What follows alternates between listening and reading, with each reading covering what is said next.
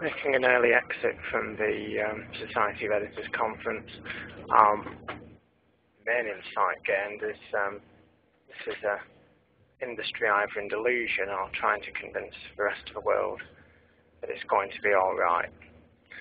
Um, content is king was mentioned twice. I don't know.